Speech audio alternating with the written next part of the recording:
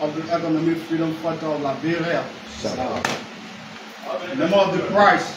Hello, I how many we persons here? officially welcome you guys to this national press briefing that will be done by the most powerful man in the Republic of Liberia, the president of the Economic Freedom Fighter, the commander-in-chief.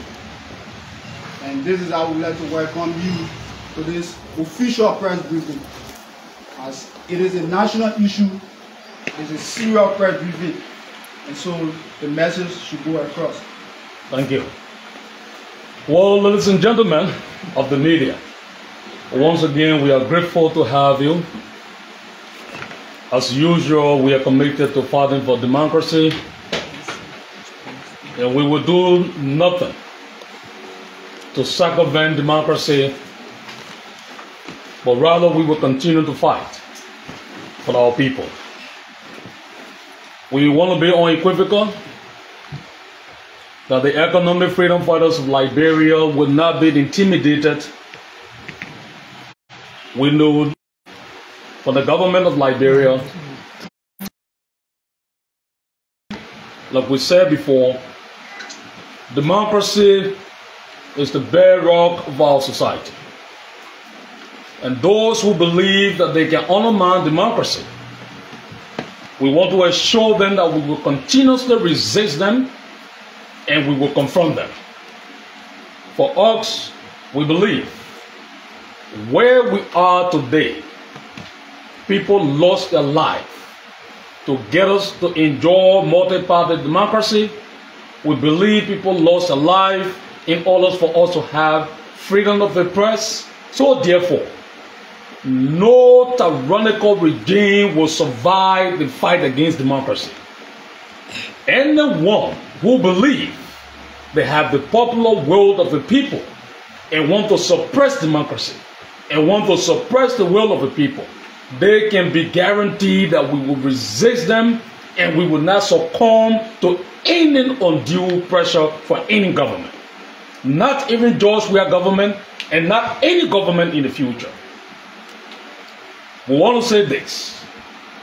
Across the country, the EFFL men that are deployed across the country have been well received by the citizens.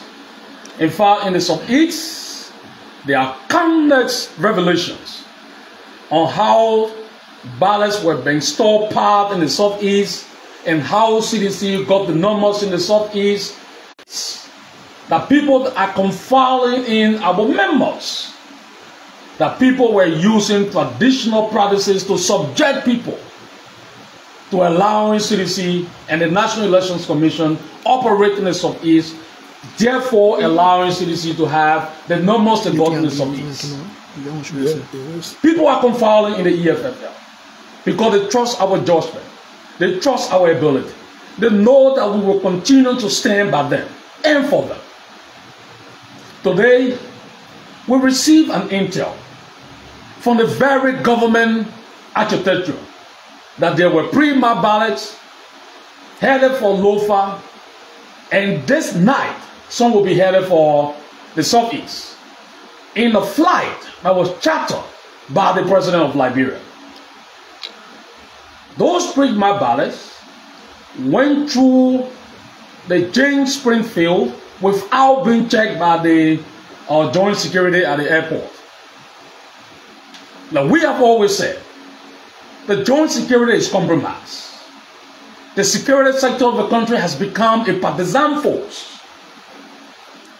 The normal airport procedures, they bypass the normal airport procedures and allowed the ballot boxes to cross and go through. And they planted them in different uh, rooms at the airport for departure tonight for the southeast. Because of the intel we received, we decided as citizens of the republic forget about our status as economic freedom fighters of liberia we are citizens first before we became members of a political party we decided sent the national security operator, the Ministry of Justice, and everyone attached with security that should be doing their responsibility has neglected their constitutional re, uh, responsibility to side with the CDC. We thought, with the interest we have in protecting our democracy and peace, to go after the flight. So we have the detail of where the flights were scheduled to land across the country. We have the detail. We received the detail. And because we received the detail, we felt it was important for us to deploy ahead of time to where the flights were intended to land. So in Foya, the flight landed, and our guy moved in. And the flight went with buses in Foya. And they were being resisted. But the guy decided that considering their training and their desire to maintain the peace of Liberia and protect the sanity of our democracy, they decided to do everything humanly possible as citizens to collect the bus. So they collected a few people that came on the flight. They turned it over to the police, including the buses on the flight. They turned everything to the police. The EFF did not commit any crime in Lofa, and they have not committed any crime across the country. But already the President of the Republic of Liberia has instructed the police to arrest the EFF people across the country wherever they are. We want to say to George Weah that your days are normal. Tomorrow you will be expelled from the Liberian presidency. The people of Liberia will vote against you. We do not need a tyrant here. We need a government that will respect rule of law. We need a government that will respect freedom of the press. We need a government that will stop corruption. Tomorrow, because you don't believe in this value, you will be expelled from the presidency. You will never be a president here. So George Weah has instructed his police director to arrest the EFF people across the country because they said they are confiding in us and giving us intel. This morning, in Wakostown, in Grand Bassa County, Pre-my ballot paper arrived. Because they heard that the EFF people were going to Wakostown, they disappeared from there. By 4 a.m. this morning, it was in Wakostown in Grand Bassa County. So we are chasing them everywhere. And we are following them everywhere. And we will do our best to protect the democracy of our country. Regardless of who is offended, we don't care about who is offended. We will never be intimidated by the CDC. We will never be intimidated by the joint security. They have neglected their responsibility and we will step in as citizens. Now they are tear gassing the EFF compound in Foya. They tear gassing our members in Foya because they want to destroy evidence. But we don't care about what they are doing. They will not deter us today and they will not deter us tomorrow. We will continue with our deployment anywhere we receive intel that people are taking Mark ballot paper, we will go there. If you want to kill us because we believe in democracy, come and kill us. But we will not run away from the government. We are not scared of them. We will face them. The president has lost legitimacy, and because of this, he's doing everything to suppress the media.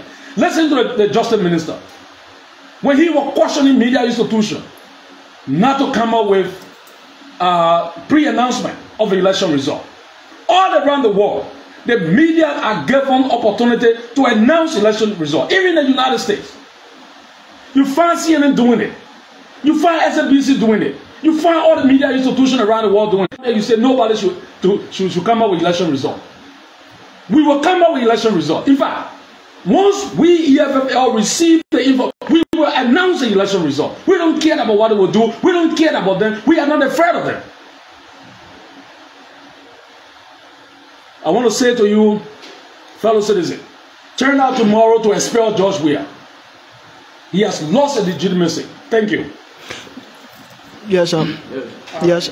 Three questions. Yes, yes, yes. Uh, thank you very much. I'm Sylvester Chidoplan. I work for Spoon Network. Uh, Mr. Gombe, you are alleging that the pre-marked uh, ballot papers uh, went in Lofa and Bassa counties. is there any evidence that you can maybe present to this press uh, to convince the public that yesterday uh, free ballot papers were were been sent uh, have been sent uh, to, to, to those countries? We are receiving all the intel from the citizen and we are going after that. We will release, we have already released the, the footage and video of the headquarters that went to Foya.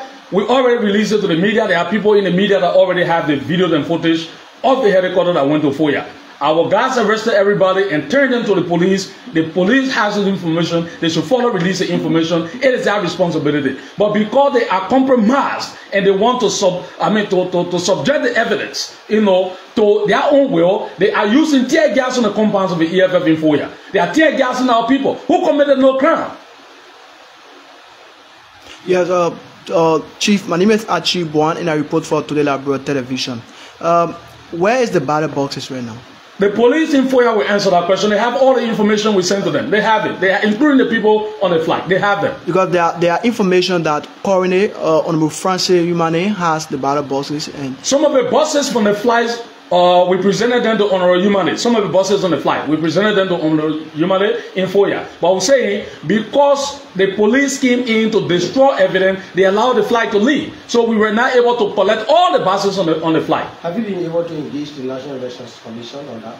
The Elections Commission has been silent on some of these things that is happening. They have not spoken know, the elections, so we don't want to communicate with them. We are saying whatever we did in Foya today, we communicated with the police and they have the information. Yeah, Mr. Obunkwe, I'm Kupo Sangai and I report for Truth FM. In one of your press conferences, you said you don't trust the police as such because they are partisan police according to you.